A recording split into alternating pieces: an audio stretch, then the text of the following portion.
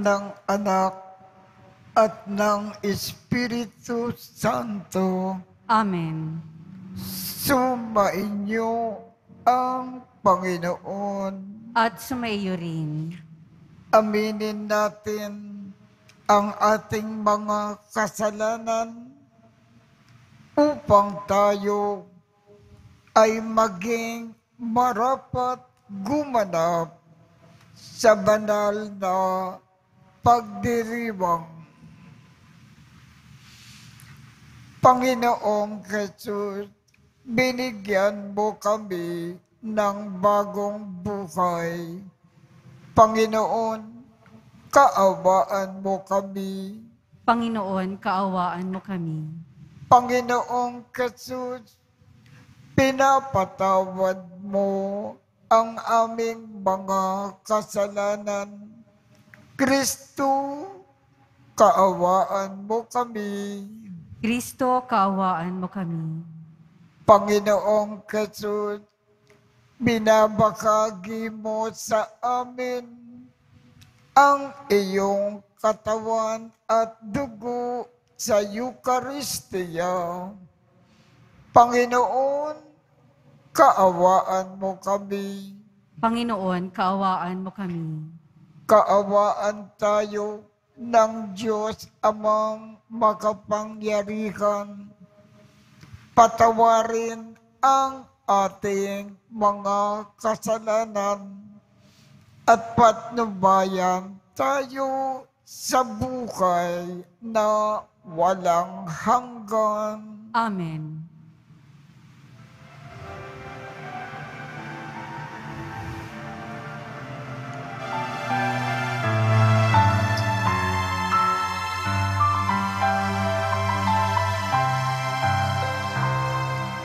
Walhati sa Diyos sa kaitaasan, Kaloob sa lupa ay kapayapaan. Pinupuri ka, ipinagdarangal, Sinasamba ka dahil sa dakila mong kalwalhatian. Panginoon naming Diyos sa rinang langit, amang makapangyarihan, Panginoong Yesu Kristo, Bugtong na anak ng Diyos, Kordero ng Ama, Ikaw na nag-aalis ng mga kasalanan ng sanlibutan. Tanggapin mo ang aming kahilingan, sa kanan ng Ama.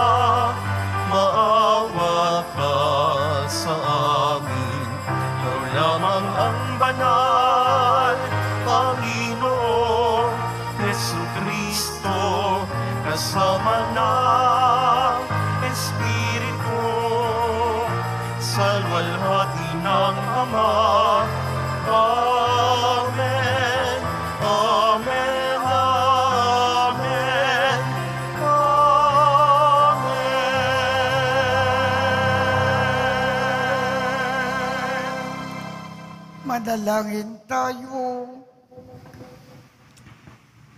Ama naming makapangyarihan, ang iyong dakilang pagkamaawain ay nangingibabaw sa aming ginagawang kabutihan at idinadaing na mga kahilingan. Ang kagandakang loob mo sa amin ay gawin mong mag-umapaw upang ang kasalanan na ipinanganga bang ihingi ng kapatawaran ng budgi naming takot na ikaw ay lapitan ay iyong patawarin ng lubusan at ang ipinag-aalangan namin na hilingin sa pagdarasal ay iyong pagbigyan ng aming makamtan. Sa pamamagitan ni Keso Kristo, kasama ng Espiritu Santo, magpasawalang hanggan. Amen. Magsiupo na po ang lahat. Pagbasa mula sa aklat ng Henesis. Sinabi ng Panginoon Diyos, Hindi mainam na mag-isa ang tao. Bibigyan ko siya ng makakasama at makakatulong. Kaya lumikha siya ng mga hayop sa parang at ibon sa himpapawid. Inilapit sa tao at ipinaubaya dito ang pagbibigay ng pangalan sa mga iyon. Kung ano ang kanyang itawag, iyon ang magiging pangalan nila. Ang tao nga ang nagbigay ng pangalan sa lahat ng ibon at mga hayop, maging maamo o mailap.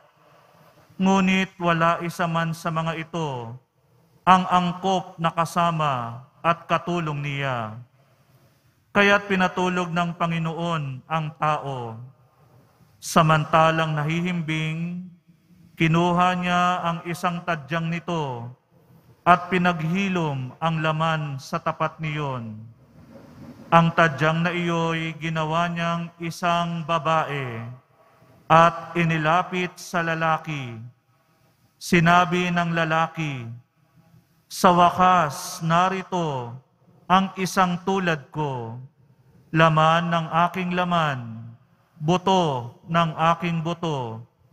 Babae ang siyang itatawag sa kanya, sapagkat sa lalaki nagmula siya. Ito ang dahilan kaya iniiwan ng lalaki ang kanyang ama at ina upang sumama sa kanyang asawa, sapagkat sila'y nagiging isa. Ang salita ng Diyos. Salamat sa Diyos. Tayo nawa ay basbasan ng puon magpakailanman. Tayo nawa ay basbasan ng puon magpakailanman. Mapalad ang bawat tao na sa Diyos ay may takot.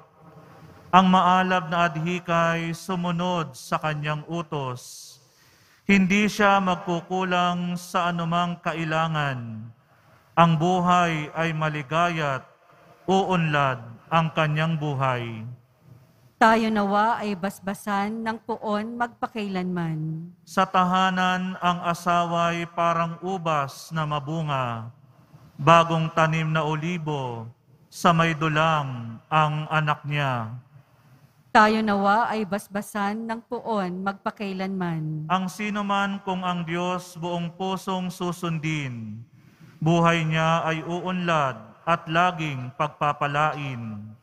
Mula sa Siyon, pagpapala nawa ng Diyos ay tanggapin at makita habang buhay, pag-unlad ng Jerusalem. Tayo nawa ay basbasan ng puon magpakailanman. Ang magiging iyong apo, nawa ikaw ay abutin, naway maging mapayapa itong bayan ng Israel. Tayo nawa ay basbasan ng poon magpakailanman.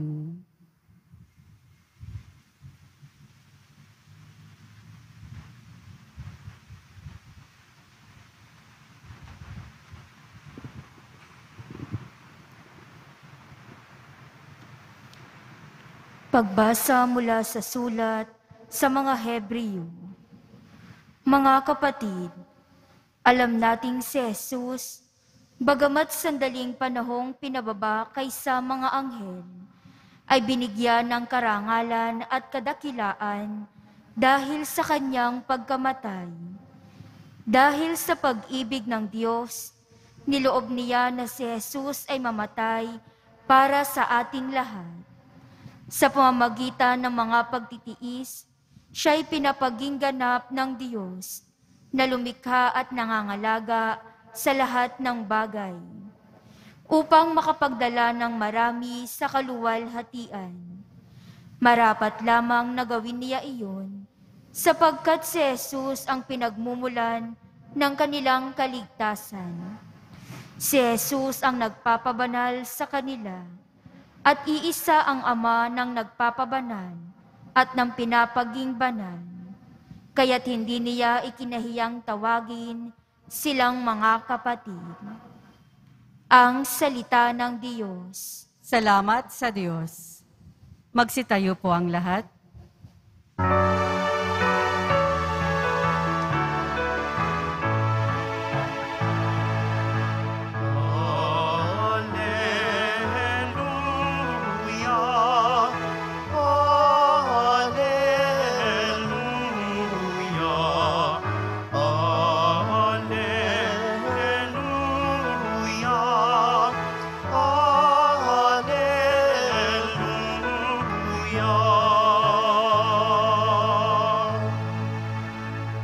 Sa pagmamahalan natin ang Diyos ay ating kapiling. Pag-ibig niya'y lulunggusin.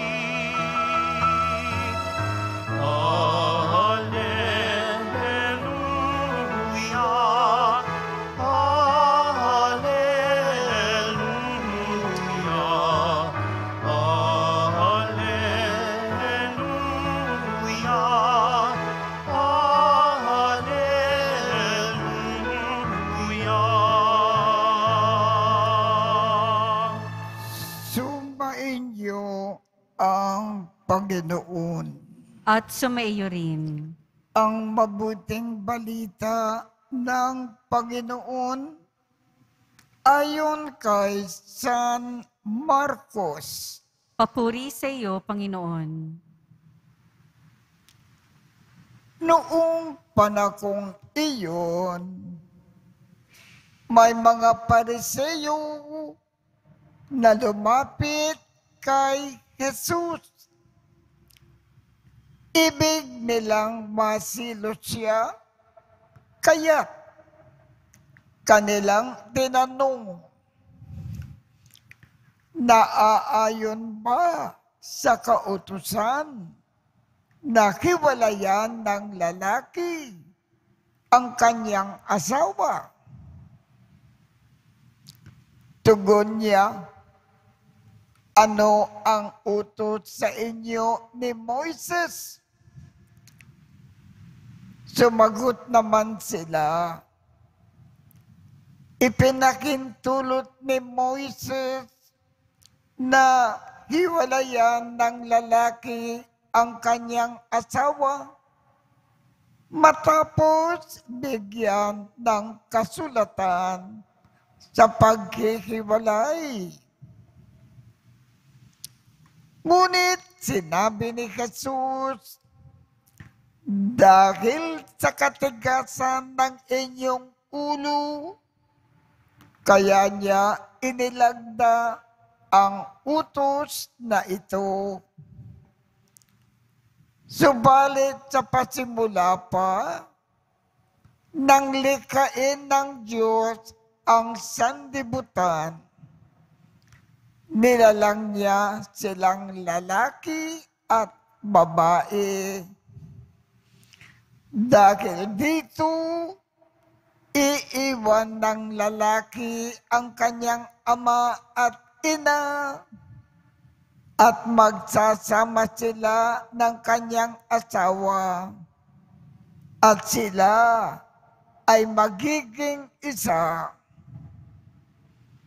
Kaya hindi na sila dalawa, kundi isa.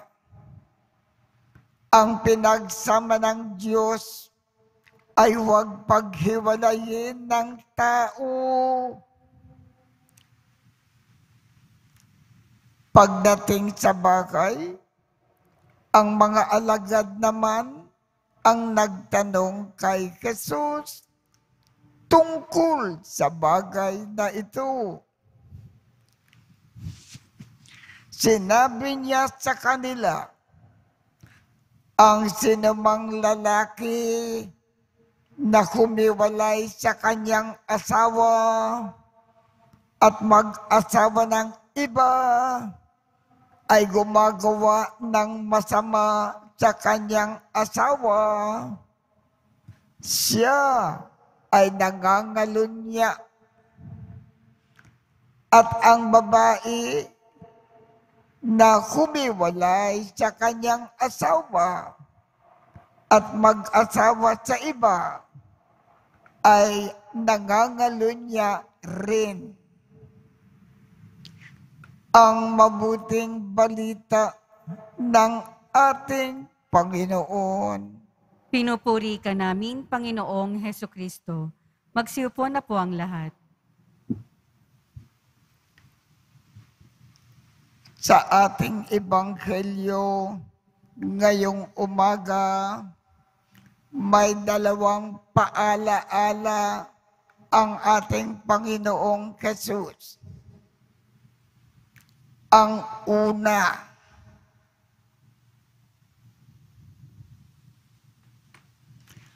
ang lalaki at babae na nag-asawa hindi na sila pwedeng maghiwalay pagkatapos magsasama sila sa kanilang bukay magpakailanman. Pwedeng mag-asawa ng iba ang lalaki. Pwedeng mag-asawa ng iba ang babae kung namatay na ang kanilang partner. Diyan sila pwedeng mag-asawa ng iba.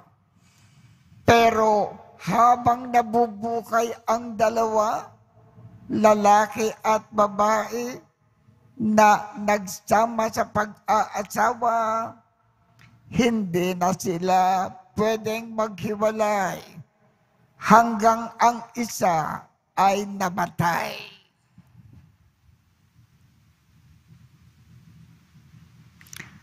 Ang ikalawang paalaala po, ano ba itong paghihiwalay o diborsyo na pinakikintulot ni Moises sa ngalan ng Diyos. Hindi ito katulad ng diborsyo o paghihiwalay na ginagawa ng mga tao ngayon. Kung ang lalaki at babae sa kanilang bukay pag-aasawa, hindi sila nagkakasundo. Away ng away. Laging gera. Walang kapayapaan ang kanilang pagsasama. pinapayagan sila ng Diyos na maghiwalay. Pero pansamantala lamang. Ang dapat nilang gawin kung sila ay naghiwalay, mag-isip silang dalawa sa kani-kanilang sarili. Isipin nila kung saan sila nagkukulang sa kanilang asawa at baguhin na nila ang kanilang buhay. Kung nabago na nila ang kanilang sarili, dapat magsama sila muli bilang mag-asawa. At habang sila ay naghiwalay pansamantala, para baguhin nila ang kanilang buhay, hindi sila pwedeng mag-asawa ng iba. Manatili silang dalawa bilang mag-asawa. At inaasahan ng Diyos kung nabago na nila ang kanilang sarili, dapat magsama sila muli. Sapagkat sa Diyos, ang pinagsama niya na lalaki at babae, hindi na pwedeng maghiwalay at mag-asawa ng iba.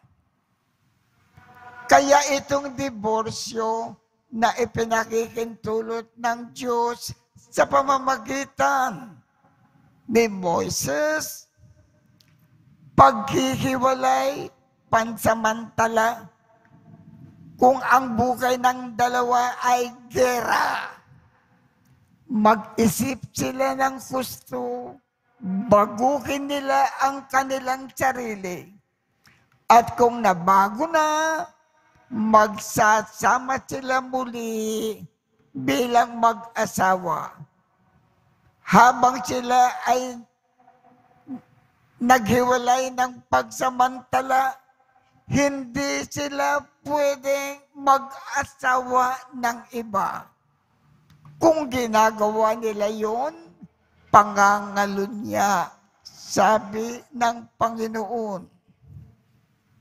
Kaya, ang diborsyo sa panahon ni Moises, hindi katulad ng diborsyo na alam natin sa kasalukuyan. Sa kasalukuyan, ang iniisip ng tao, hindi yung diborsyo sa mata ng Diyos. Ang mga tao ngayon, ang pag-alam nila sa diborsyo, kung hindi nagkakasundo, maghiwalay, mag-asawa ng iba. Yan ang isip ng tao, hindi ang Diyos. Ang Diyos, ang ibig sabihin ng diborsyo. Kung hindi sila magkakasundo,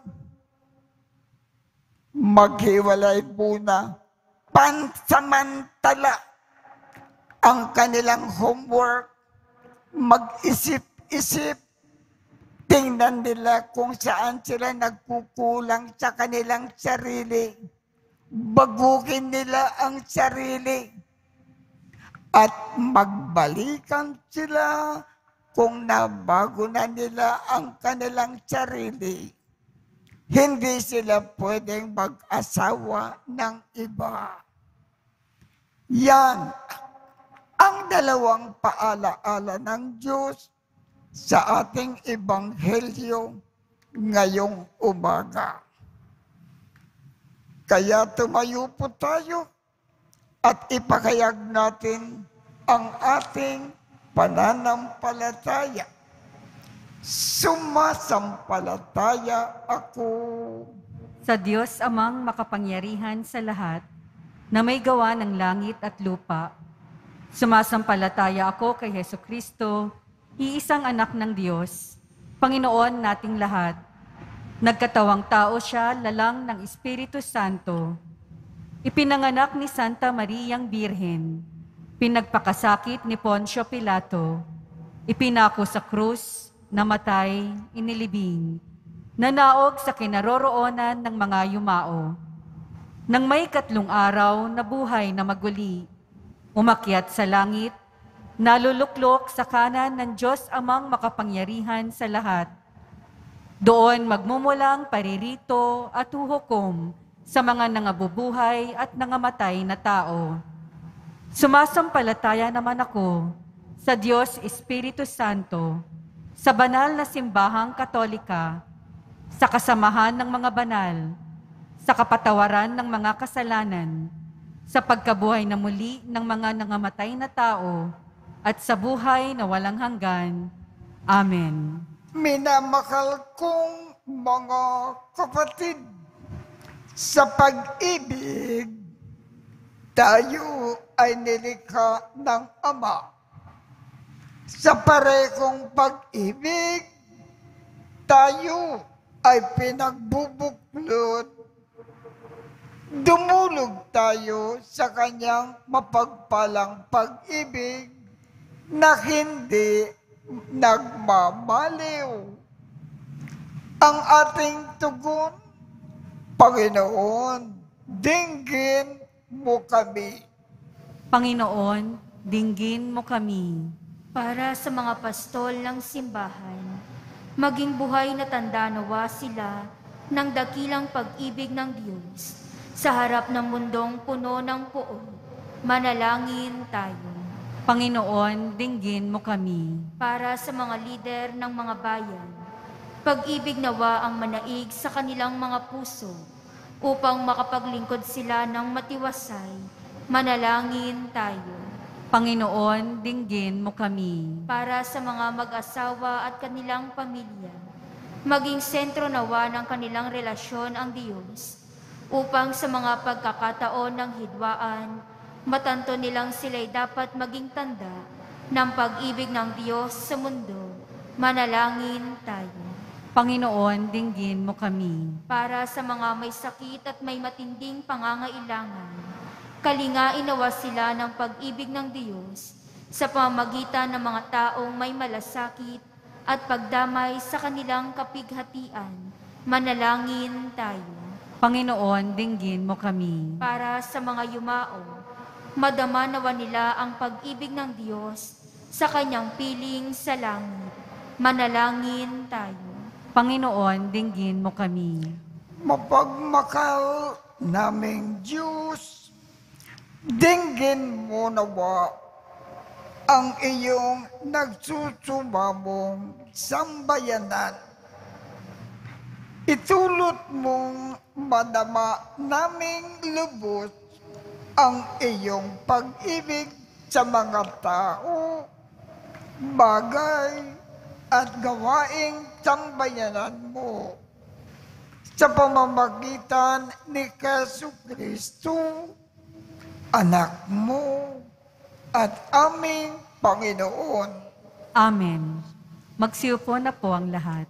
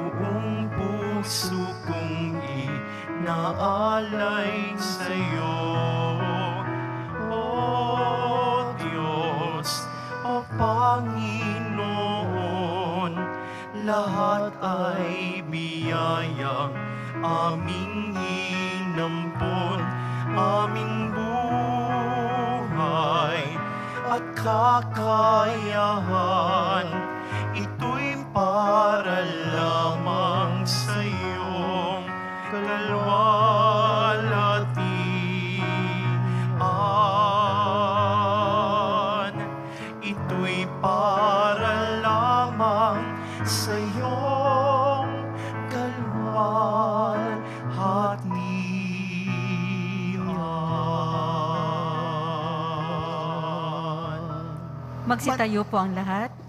Manalangin kayo, mga kapatid, upang ang pag-aakin natin ay kalugdan ng Diyos amang makapangyarihan.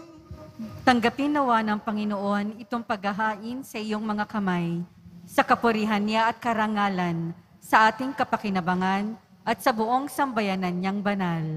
Ama naming lumikha, tanggapin mo po ang pag-aakin ng mga alay na iyong inikabilin at sa pagdiriwang ng dapat naming ganapin ang kabanalan ng iyong pagdidigtas naway sumaamin sa pamamagitan ni Yesu Kristo kasama ng Espiritu Santo magpasawalang hanggan.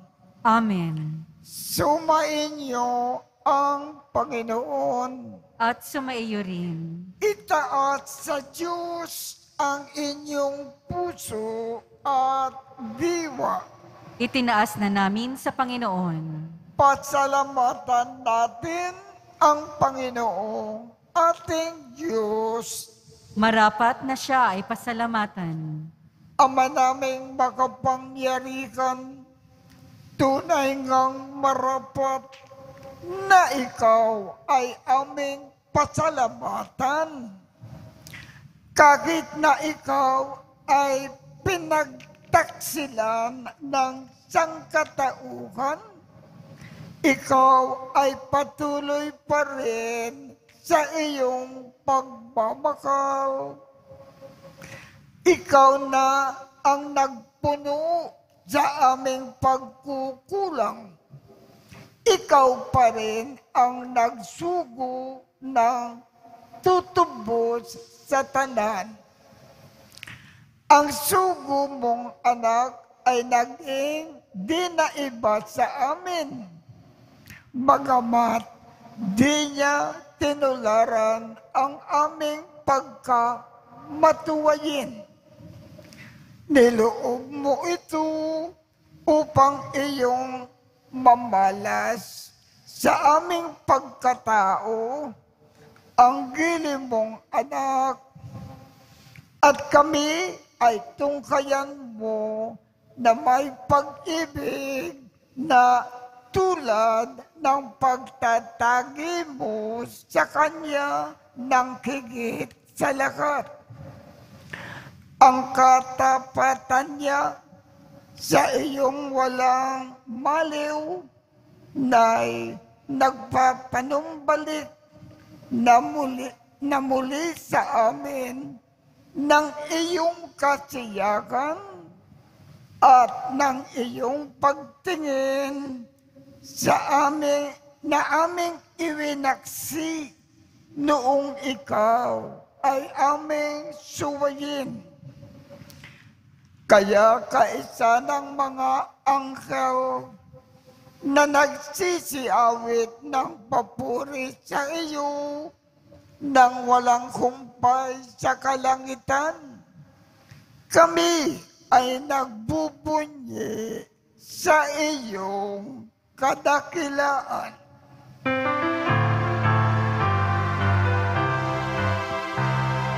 Banal ka poong may kapal, banal ang iyong pangalan, banal ang iyong kaharian. Langit lupa'y nagpupugay sa iyong kadakilaan. Dinarakilaan ng lahat.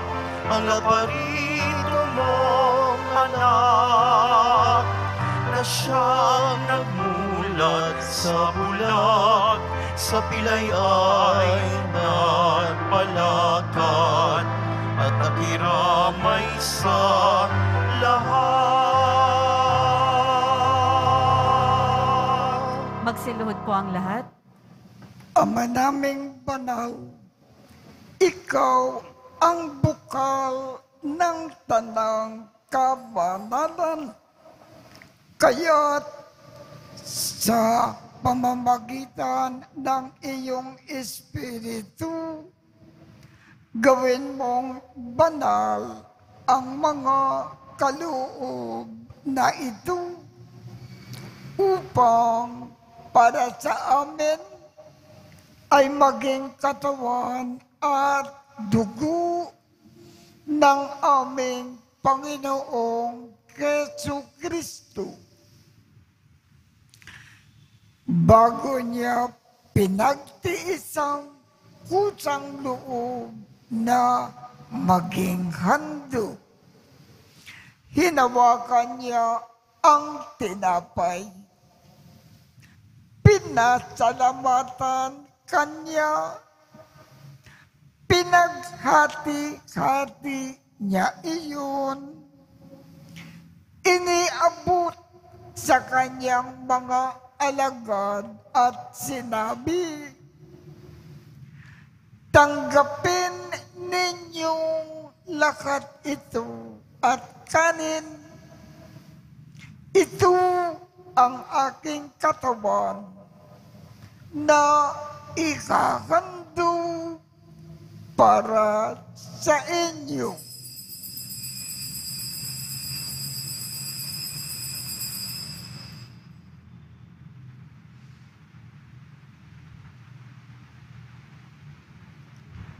Gayon din naman, noong matapos ang hapunan, hinawakan niya ang kalis, muli kanyang pinasalamatan. Iniabot niya ang kalis sa kanyang mga alagad at sinabi, Tanggapin ninyong lahat ito at inumin. Ito ang kalis ng aking dugo ng bago at walang hanggang tipan. Ang aking dugo na ibubuhos para sa inyo at para sa lahat sa ikapagpapatawad ng mga kasalanan. Gawin ninyo ito sa pag-alaala sa akin.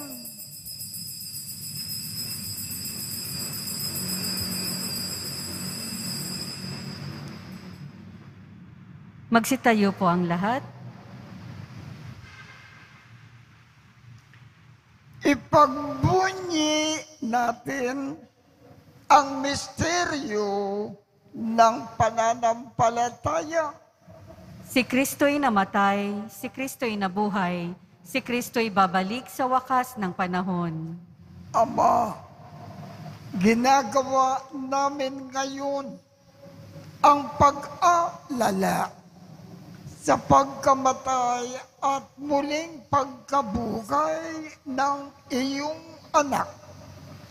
Kaya't iniaalay namin sa iyo ang tinapay na nagbibigay buhay at ang kalis na nagkakaloob ng kaligtasan.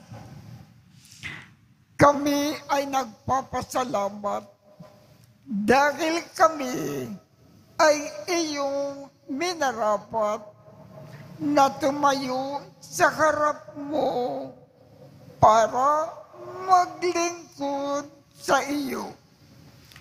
Isinasamo namin kaming magsasalo-salo sa katawan at dugo ni Kristo ay mabuklod sa pagkakaisa sa pamamagitan ng Espiritu Santo. Ama, lingapin mo ang iyong simbahan laganap sa buong daigdig. Puspusin mo kami sa pag-ibig. Kaisa ni Francisco, aming Papa, Jose, aming Obispo, at ng Tanang Kaparian. Alalakanin mo rin ang mga kapatid namin na kimlay nang may pag-asa na sila ay muling mabubuhay.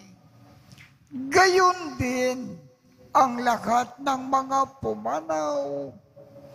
Kaawaan mo sila at patuloyin sa iyong kaliwanagan. Kaawaan mo at paghindapatin kaming lahat na makasalo sa iyong buhay na walang wakas. Kaisa ng makal na Birhen Maria na ina ng Diyos ng kabiyak ng puso niyang si San Jose, kaisa ng mga apostol at ng lahat ng mga banal na namukay dito sa daigdig ng kalugod-lugod sa iyo. Maipagdiwang nawa namin ang pagpupuri sa ikararangal mo sa pamamagitan ng iyong anak na aming Panginoong Keso Kristo. Sa pamamagitan ni Kristo, kasama niya at sa Kanya, ang lahat ng parangal at papuri ay sa iyo, Diyos amang makapangyarihan, kasama ng Espiritu Santo, magpasawalang hanggan.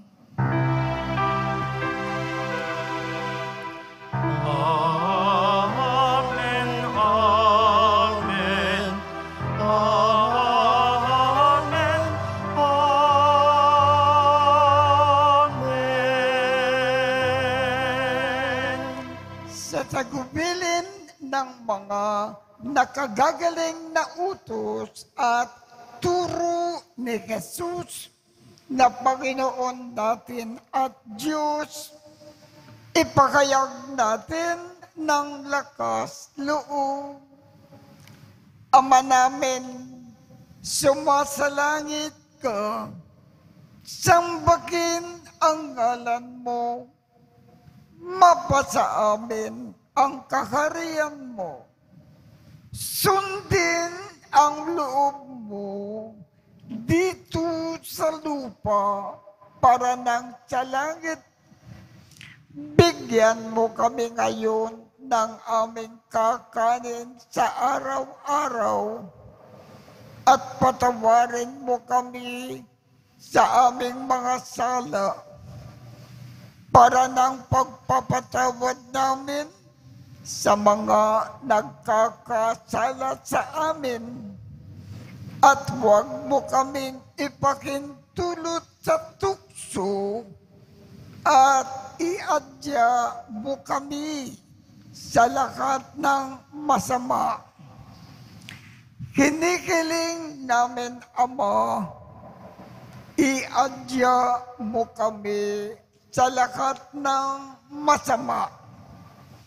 Pagkalooban kami ng kapayapaan sa araw-araw.